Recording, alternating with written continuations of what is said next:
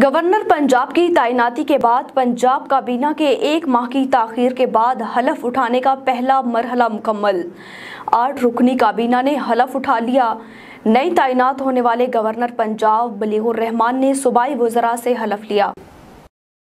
सूबाई काबीना से हलफ लेने की तकरीब का इनका गवर्नर हाउस लाहौर में किया गया, जिसमें वज़ीर अला पंजाब हमजा शहबाज समेत दीगर अरकान असम्बली ने शिरकत की और हलफ उठाने वाले वजरा को मुबारकबाद पेश की। हलफ उठाने वाले सूबाई वजरा में ख्वाजा सलेमान रफ़ीक, मलिक अहमद ख़ान, राना मोहम्मद इकबाल, अली हैदर गिलानी, अता तारड़, अवैस लगारी, हसन मुर्तज़ा चौधरी बिलाल असगर शामिल हैं। वज़ीर पंजाब ने भी नई काबीना को मुबारकबाद दी। मजीद अपडेट के लिए विज़िट कीजिए वाइस टुडे डॉट टी